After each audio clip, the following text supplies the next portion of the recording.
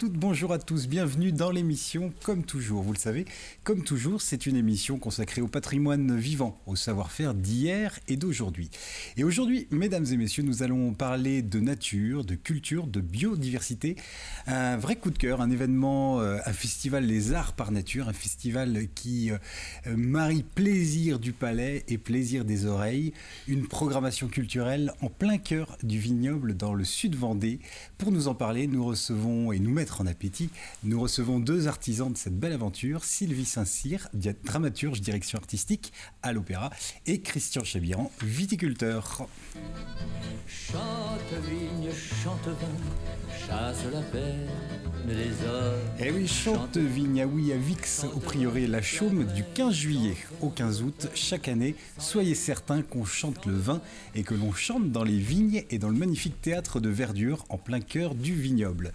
Pour cette édition 2021, nous sommes invités à passer à table chez Bacchus et Dionysos. Artistes, conférenciers, nous invitent à prendre le meilleur du temps j'ai nommé le bon temps, celui avec lequel on peut sablier le champagne, le bon temps avec lequel on a la minute qui papillonne pour le plaisir du palais. Et nul doute que le charme opérera avec Offenbach, Massenet et bien d'autres compositeurs. Cette année, les artistes partent en croisade contre la malbouffe. Malbouffe s'en va en guerre, bœuf mironton, mironton, mirontaine, bien décidé à valoriser les saveurs du terroir, le patrimoine naturel et culturel du Sud Vendée. Le festival Les Arts par Nature et tout son équipage, les commandants de bord Christian Chabiran et Sylvie Saint-Cyr, sont heureux de vous accueillir pour des spectacles, des ateliers, un voyage hors du temps en terroir inconnu, décollage imminent. Notre appareil survolera des zones viticoles, golfe des Pictons, marais Poitevin et autres prairies naturelles. La sécurité nous oblige à montrer le maniement de la bouteille qui se trouve sous votre siège. Il est conseillé d'éteindre vos portables, d'allumer vos oreilles et de détacher sa ceinture pendant toute la durée de la dégustation, notamment lors de la traversée de zones de somnolence et au moindre tonneau. En cas de pépin, des ballons de rouge, blanc ou rosé, prima donna, Orfeo, bel canto tomberont devant vous. Saisissez un ballon, ne soufflez pas, dégustez. Nous atteindrons, mesdames et messieurs, notre ivresse de croisière à 32 hectolitres par nectar, à une altitude de 9000 pieds de vigne. Demandez le programme, nous espérons vous reboire sur, sur leur ligne pour les prochains festivals. Mesdames et messieurs, tant qu'il y a de la vigne, il y a de l'espoir. Et autant vous dire qu'au Prieuré La Chaume, il y a de l'espoir et du plaisir communicatif, une sincère joie de vivre, car nos invités l'aiment ce domaine. Ils ont fait le serment d'en prendre soin, de veiller à sa biodiversité et de faire naître les plaisirs du palais et de l'oreille au forceps naturel. Alors santé et rendez-vous cet été au vin quand tu nous tiens. On ne siffle que des vers, on ne boit que les paroles pendues à tes bémols. Vin, donne-nous ta nain, tes senteurs et ta fleur, le cœur a ses raisins que la raison dévore. Imbibons nos palais, faisons des rêves vignobles, car ce qui est certain, c'est qu'au vin, nous sommes liés. Quelle est l'histoire de ce festival et du Prieuré La Chaume? Quels sont les temps forts de la programmation en 2021 Pourquoi associer culture, nature, vin et art? Euh, Peut-être des similitudes entre ces disciplines, en tout cas autant de questions que nous allons aborder avec nos invités. Sylvie Saint-Cyr, Christian Chabiran, soyez les bienvenus. Merci, bonjour. Bonjour, on est très heureux de vous avoir sur le, sur le plateau et de faire cette découverte du, du festival Les Arts par Nature.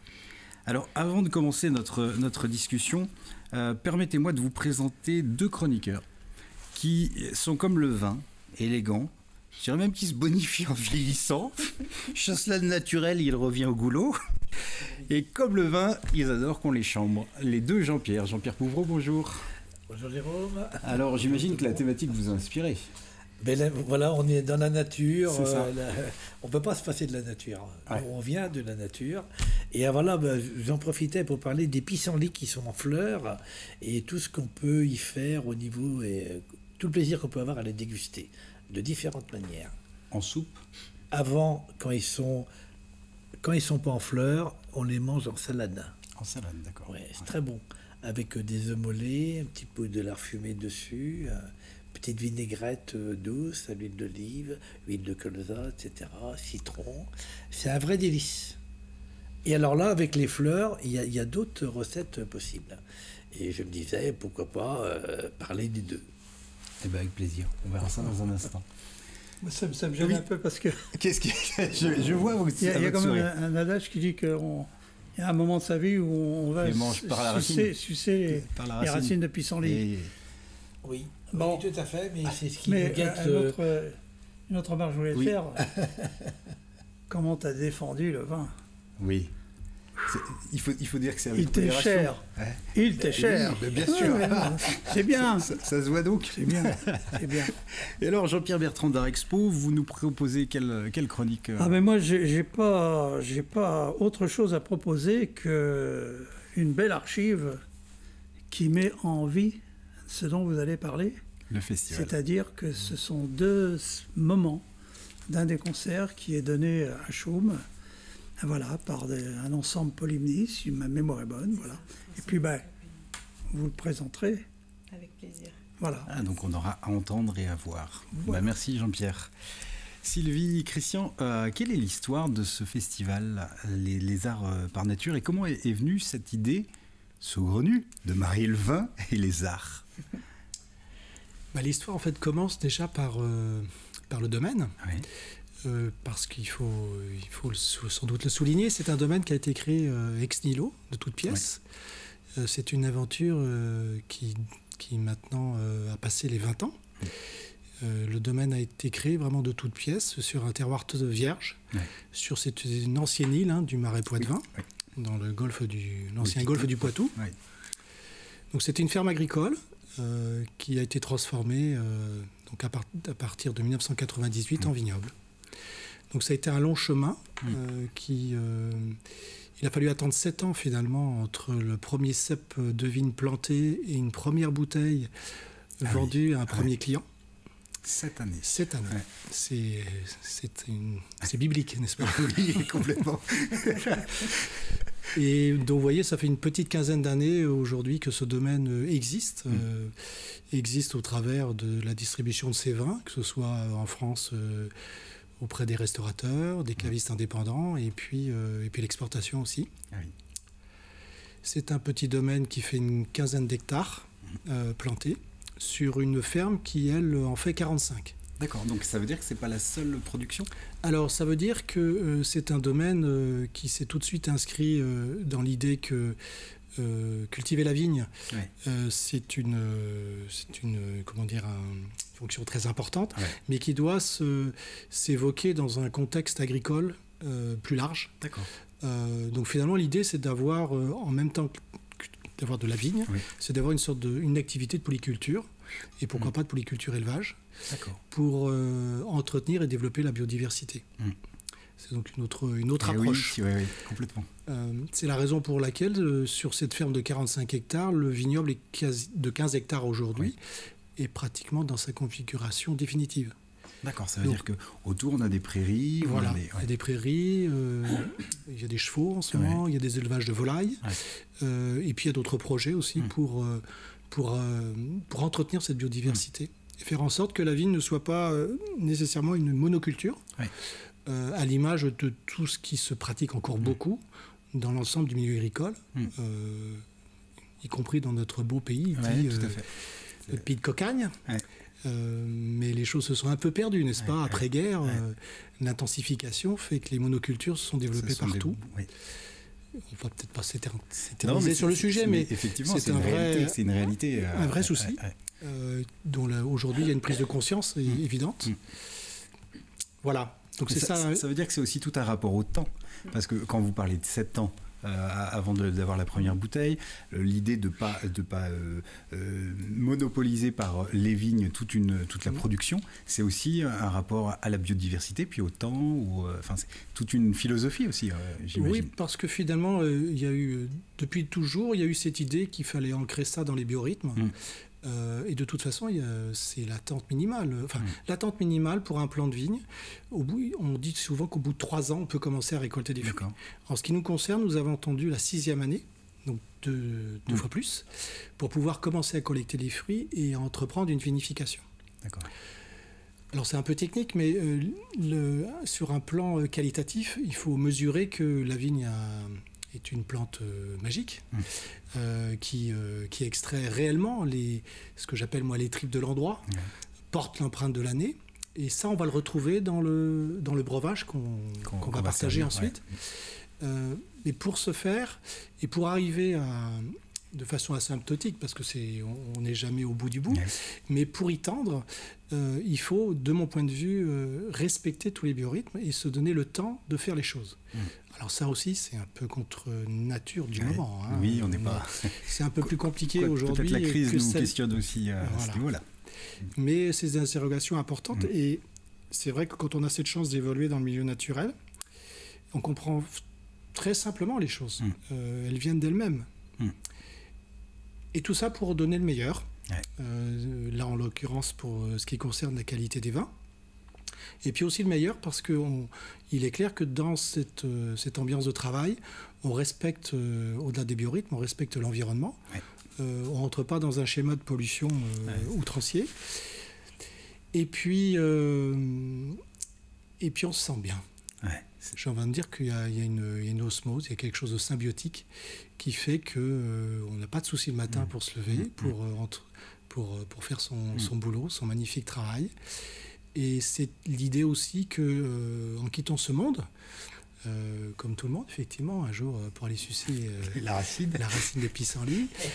dans cette attente-là, moi, j'espère, je, je, compte laisser aux ayants droit ou aux successeurs un bien qui sera dans l'état dans lequel je l'ai je mis. Tout simplement. Précieux, c'est précieux. Mm.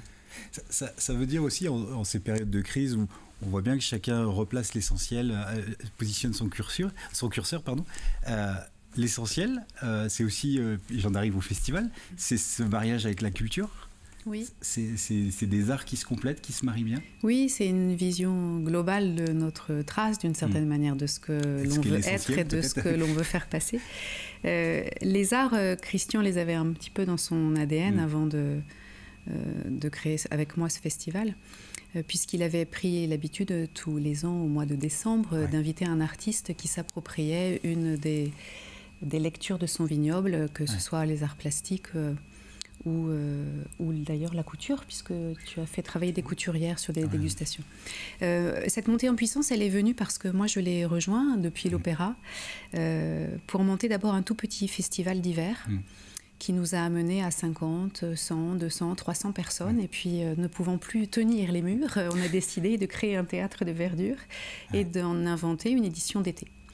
Donc après cinq années d'hiver, nous voilà sur cette deuxième édition d'été, puisque la première a démarré l'année dernière. L'objectif, il est de convoquer les arts pour que l'on puisse traduire la nature, hmm. proposer une vision peut-être un peu plus éthérée, un peu hmm. plus... Euh, un peu plus distante, je dirais, plus poétique mm. de la nature, mais euh, dans l'idée de réunir à la fois nature-culture, mm. mais aussi les populations urbaines et rurales, qui ont sans doute eu tendance un peu à se, distancier. voilà. Et les hommes et les femmes aussi, puisque c'est une vision holistique euh, de reliance, tout mm. simplement, et de, de re-questionnement de nos identités. Donc c'est à la fois un projet artistique, mais qui se veut le dessin d'un projet à, plusieurs têtes, une tête environnementale, une tête euh, culturelle, mm. une tête sociale, mm. euh, sociétale. Donc c'est effectivement, on embrasse large. C'est, on, l'appelle nous notre petite hétérotopie. C'est l'endroit où les possibles, où les, où les rêves sont possibles. Et ne sont pas cloisonnés. Et ne sont pas cloisonnés.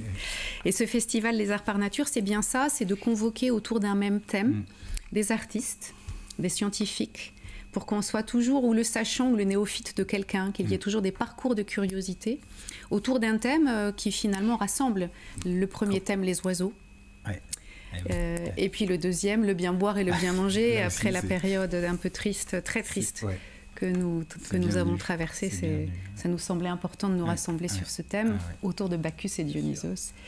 Et n'en déplaise à Voltaire, Dionysos étant quand même le fondateur et du vin et de la tragédie, ça nous semblait être le bon moment. Le rendez-vous était pris.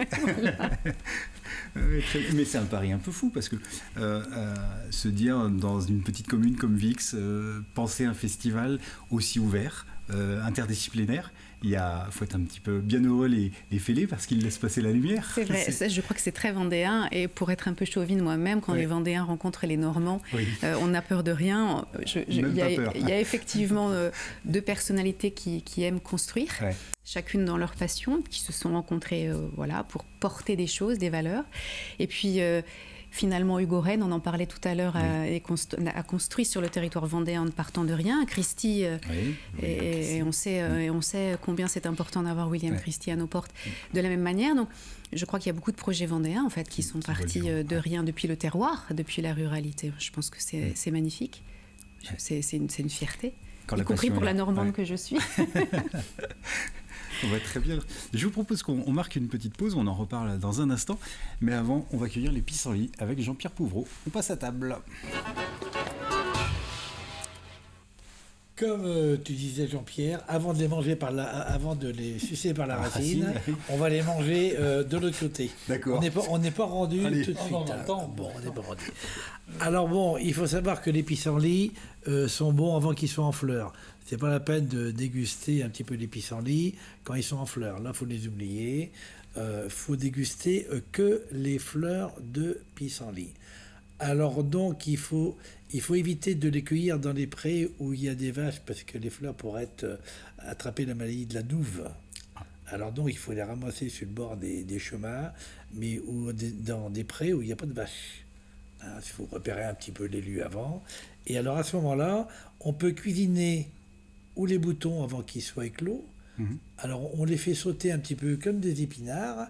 Et puis on peut agrémenter une salade, on met un petit peu de, vinaigre de cidre ou balsamique. Et alors donc, on agrémente une salade avec les boutons euh, de pissenlit. Les fleurs, on peut les faire mariner par exemple toute une nuit hein, dans un litre et demi d'eau. Mhm. On coupe les fleurs à ras, là, voilà. Couvert avec un torchon. Et le lendemain, on rajoute un kilo de sucre, on égoutte le tout, et on fait un sirop. Et ce sirop, il aura le goût de pissenlit. Alors, suivant la réduction du sirop, il va se gélifier ou pas. Et voilà, c'est des petites recettes euh, rigolotes. Euh, on peut les faire également euh, en salade, telles qu'elles sont, si elles ont été avec un mélange de mâche, de, on mélange plusieurs salades, mâche, endive, un petit peu d'oignon, un petit peu de, de tomates, et les fleurs qui parfument de façon très très gaie euh, euh, les salades. Voilà, on peut faire également de la limonade de pissenlit. Alors de la limonade de pissenlit, un kilo de fleurs de pissenlit, un litre d'eau pétillante, une cuillère à café de bicarbonate de soude, 360 g de sucre, le jus d'un citron ou d'une orange. Voilà. Alors bon, ah, l'eau, il faut, il faut laver les fleurs dans de l'eau vinaigrée pour enlever un petit peu les impuretés, les impuretés, les rincer après, et puis après, mesdames, on les rajoute euh, dans l'eau pétillante, sucre, et, ça, ça, ça, fait une, une, limonade au pissenlit. On, on retrouve ça, la carte euh, du Poucton, vous proposiez euh, euh, ça, c'est dans un futur proche. Dans un futur proche. Oui, ouais, futur proche, on va cuisiner les herbes euh, de, de, façon différente. Il faut savoir que le, le surnom du pissenlit, c'est le pissenlit a des vertus diurétiques, donc les vieux appelaient ça des pissolis. Alors, si vous avez tendance à, ben voilà. éviter les pissenlits. Ah. Merci pour tous vos bons conseils. Ah non, non, c'est gratuit. Oh, c'est que mon grand-père qui m'a appris tout ça, et ma grand-mère. eh ben, merci Jean-Pierre. Je... Oui. Vous, connaissez le farci poids de vin, euh, Moi, je tiens ça à la recette de ma regrettée mère, mais on faisait un farci. Ma mère faisait le farci poids de vin, utilisait beaucoup les, les pissenlits ah avec l'oseille. Euh, vous parliez des petits lardons tout à l'heure. Oui, lardons. Ah bah oui. Alors localement, alors on est dans le sud, sud Vendée, hein, le bas Poitou historiquement. Euh, on l'appelait le phare, le phare. Ah, ma mère, ma mère l'appelait le phare. J'ai toujours entendu ça. Le phare, d'accord. Ah ah c'est bien, vous allez pouvoir ajouter ça. Une plante très Oui, Jean-Pierre Non, mais il a mis le doigt où il ne fallait pas, parce que j'ai vu que dans la presse actuellement, euh, on est en train de nous déchirer une fois de plus si on est poids de vin. Ah oui, ah oui, oui. Ah oui avec le, débat sur si les on est ligérien, et sur les, régions. Oui, effectivement. Eh oui. Eh oui, ça revient. C'est les Bretons qui ont dégainé les premiers. On n'a rien dit, mais quand même. je, reviens au, festival euh, Les Arts par Nature. Euh, du moins sur le, festival d'été, il y a une tradition, c'est d'avoir un parrain ou une marraine. Et pas des moindres. Euh, oui, c'est vrai qu'on a eu de la chance.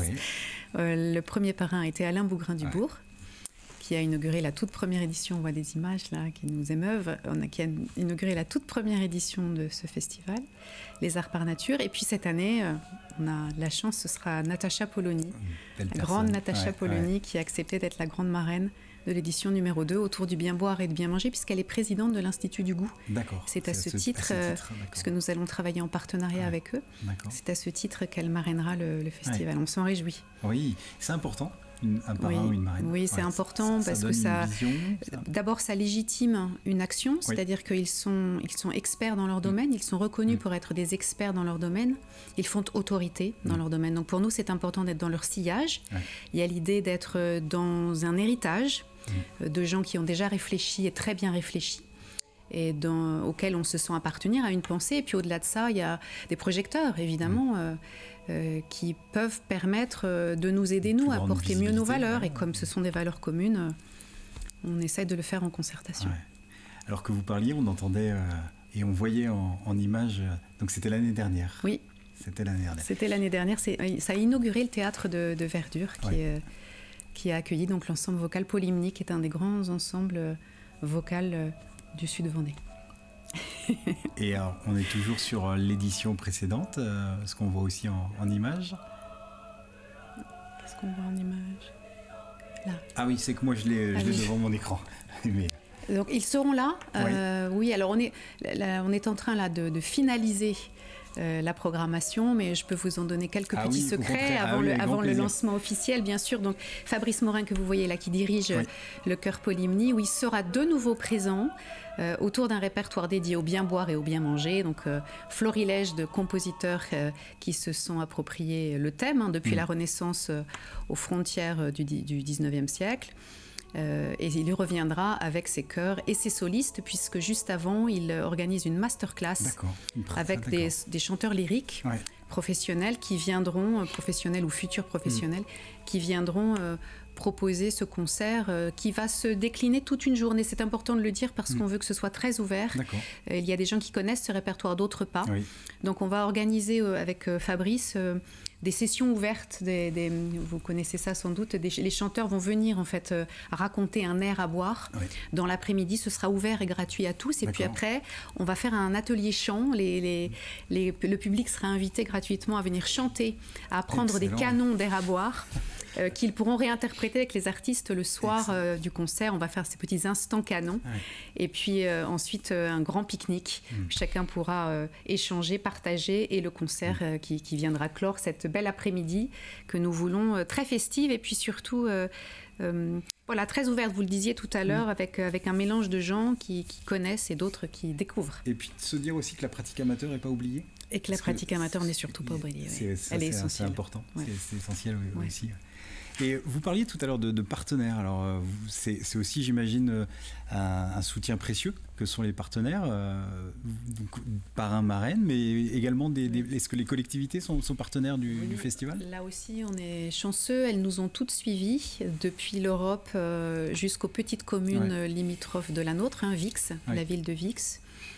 donc en déclinaison, la région, le département, les communautés de communes, elles nous suivent, elles nous suivent toutes, mm. avec des, des orientations et des visées mm. euh, différentes hein, selon mm. leur périmètre, mais elles sont toutes là. Et puis nous sommes en train d'ouvrir euh, la page des partenariats privés après cette première édition qui a, pour nous en tout cas, été, euh, été importante et, réussie. donc on a envie maintenant de poursuivre avec des partenariats privés et on ouvre cette porte-là, on sollicite là des premières rencontres avec des chefs d'entreprise qui peuvent s'approprier nos valeurs mm. et dans l'idée que culture et économie doivent aussi œuvrer pour la notoriété d'un territoire. Ça peut se conjuguer sans problème. Absolument. donc euh, c'est une nouvelle première marche. Le public, ça, ça, peut être euh, du public euh, qui découvre pour une première fois un concert, donc public qui, qui peut venir de Vix, mais des alentours, les, les, passionnés qui vont faire des kilomètres. C'est vraiment ouvert à, tout le monde C'est ouvert à tout le monde. On va aider ceux qui sont moins familiarisés que les autres. On va par exemple avec l'Institut du goût se former, nous tous bénévoles, une petite dizaine de bénévoles, 15 exactement. Nous allons être formés pendant deux jours par l'Institut du goût à diriger des ateliers du goût. Mm. Hein, euh, donc on va euh, ensuite être capable de les proposer dans des écoles primaires et dans des mm. EHPAD. Et on y, on y associera des chanteurs d'opéra, ceux qui seront là d'ailleurs en résidence, euh, et qui vont exploiter avec nous des petits formats à décentraliser dans les écoles et les EHPAD autour du répertoire gastronomique d'Offenbach. Donc on aura une partie dédiée à la dégustation proprement dite, l'idée étant de pouvoir mettre un mot hmm. et donc un concept et donc de le faire sien. Bien sûr. Euh, avec un, un, mets, quel qu'il soit, hein, sucré-salé, et puis ensuite de le décliner euh, musicalement. Et, je trouve que c'est un joli symbole que de commencer à le faire en milieu rural, puisque nos chers enfants du milieu rural connaissent bien mieux les tomates que euh, leurs confrères et consoeurs de, Paris ou, des milieux urbains et de finir par quelque chose qui est plus urbain. C'est-à-dire on va partir de la nature et on va, on va les emmener vers quelque chose de peu plus poétique. Moi je suis ravie de ça. Donc mm. c'est pour tous les publics, oui. Eh ben, c'est un très beau voyage. Merci beaucoup d'être venu nous en parler. Donc c'est du, du 15 juillet au 15 août à Vix. Merci, beaucoup, ça, donne envie, ça donne envie. Donc, euh, et vous, vous cherchez des bénévoles peut-être aussi? Ah ben voilà, donc euh, l'annonce est lancée. Et avec l'association. Euh, avec l'association Confluence, oui, oui, bien sûr, ah, nous recrutons des bénévoles pour ceux qui ont envie de, joindre le plaisir à l'utile et à l'agréable. Vous êtes les très bienvenus. Eh ben, le rendez-vous est pris. Merci, beaucoup Sylvie, merci beaucoup Christian. Eh ben, les Jean-Pierre, merci bien. Très très très très envie. Bon, eh ben, vous, vous, savez ce que vous faites cet été. Ah, merci. chanter tous les deux le 30 Alors, ben, on, se dit à Bétou. On se dit à Bétou. Eh ben à Bétou. À fait. fait.